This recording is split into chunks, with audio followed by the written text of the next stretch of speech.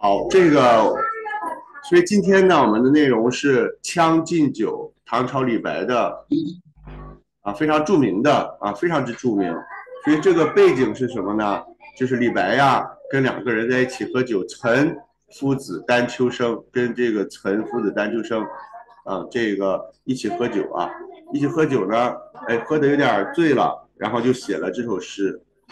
啊，这个我来读一下啊，读一遍之后再解释一遍。好吧，对吧？冯大有，冯小雅，你们可以听一听啊。来，《将进酒》，我先读一遍啊，《将进酒》唐·李白。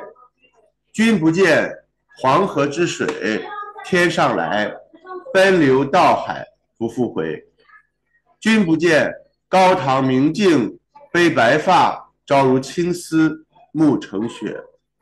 人生得意须尽欢，莫使金樽空对月。天生我材必有用，千金散尽还复来。烹羊宰牛且为乐，会须一饮三百杯。岑夫子，丹丘生，将进酒，杯莫停。与君歌一曲，请君为我倾耳听。钟鼓馔玉不足贵，但愿长醉不复醒。古来圣贤皆寂寞。唯有饮者留其名。陈王昔时宴平乐，斗酒十千恣欢谑。主人何为言少钱？径须沽取对君酌。五花马，千金裘，呼儿将出换美酒，与尔共销万古愁。所以呢，这个呃是李白在喝完酒之后写的啊。这个非常的出名，《将进酒》我来解释一下，《将进酒》啊，我们要喝酒啊。这个，呃，你看，君不见啊，就你们看呀，黄河之水天上来，奔流到海不复回。就是黄河的水呀，当然不是天上来了，是吧？现在我们知道，水黄河是天上来的吗？不是啊，黄河之水，呃，但是呢，黄河的水呢，向东去流进海了，是吧？那么黄河的水到东，现在是在山东入海啊。那么奔流到海有没有回来呀？没有回来是吧？大家有看到水倒流吗？没有是吧？所以说呢，黄河的水啊，一路向东啊，流进海之后呢，就不会回来了，了解吗？君不见高堂明镜悲白发，朝如青丝暮成雪。啊，你看你有没有看到呀？你看这个。呃，年纪大了之后，头发会变会变白呀，是吧？不明爸爸有白头发了吧？啊，这个就说年轻的时候也很黑呀，可是现在就变成这个白头发了，暮成雪啊，雪是白色的，是吧？啊，那么这个是什么意思呢？就说呢，这个时间过去了，就像水一样，不会再回来，是吧？人生很短，对吧？高堂明镜悲白发，朝如青丝暮成雪。黄河之水天上来，奔流到海不复回。所以人生很短啊啊！当然说这个你们还很很小是吧？但是大家意思是说呢，你看这个像水一样，时间像水一样啊，没有回头的，对吧？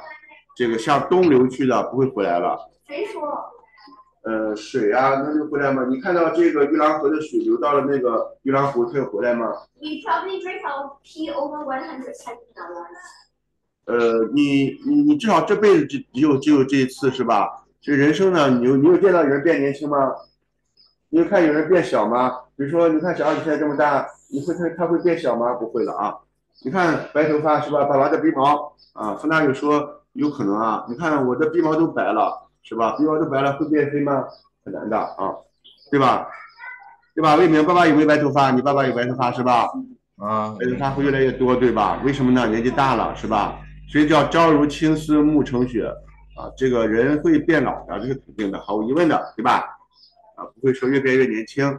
所以说呢，为什么这么说呢？所以说呢，这个因为呢，人生很短，所以呢，我们要 enjoy life，是吧？要享受人生啊。这个所以说李白就说了啊，所以说铺垫前面是说呢，你看黄河的水啊啊，从西往东流，流到海里就不回来了。君不见黄河之水天上来。奔流到海不复回，啊，然后你看呢，这个原来挺年轻的，现在这个就变老了，变头发白了，是吧？还能再回去吗？回不去是吧？君不见，高堂明镜悲白发，朝如青丝暮成雪。所以得出一个结论来啊，它有逻辑的。所以人生得意须尽欢，莫使金樽空对月。天生我材必有用，千金散尽还复来。烹羊宰牛且为乐，会须一饮三百杯。因为他正在跟这个两个朋友喝酒啊，所以就说你看呢啊，这个人生苦短，所以呢我们要啊高兴的时候呢就要享受人生，对吧？啊，不要让你的杯子啊空着啊。金樽，他用金樽喝酒啊，这个为什么呢？这个呃，那么老天生下我来，天生我才啊。既然有这个才华，一定会有它的用处的啊！即使把钱花完了，也会再回来。他很自信，对吧？呃，当然李白的这个人生结局并不是很好啊，但是他很自信啊，很豪迈。天生我材必有用，仓鼠想进去厨房，千金散尽还复来，还复来。所以呢，既然是这样的话呢，我们就高高兴兴的喝酒吧。烹羊宰牛且为乐，会须一饮三百杯，这夸张了是吧？有人能喝三百杯吗？喝不了三百杯，是吧？但的意思是说，三百杯酒啊，呃，你谁能喝了三百杯酒？除非是小杯杯很小很小的淡酒啊。这李白就说了：“人生得意须尽欢，莫使金樽空对月。天生我材必有用，千金散尽还复来。烹羊宰牛且为乐，会须一饮三百杯。”什么意思呀？哎呀，这个老陈呀，丹丘啊，老弟啊，啊，这个人呢？这个要懂得享受生活，对吧？享受人生啊，这个呃不要浪费大好时光啊。那么呃，既然是老天呃我们生在这个世界上呢啊这么有才华，一定有它的用处的。所以说呢，不要在乎钱，是吧？我们就杀羊啊，杀牛啊，我们一起喝酒吧，大概是这个意思，明白了吗？啊，这一段啊，我们今天来学这一段，好吧？《将进酒》唐·李白。君不见黄河之水天上来，奔流到海不复回。君不见高堂明镜悲白发，朝如青丝暮成雪。人生得意须尽欢，莫使金樽空对月。天生我材必有用，千金散尽还复来。烹羊宰牛且为乐，会须一饮三百杯。好，这就是我们打算今天这个一起学的内容啊。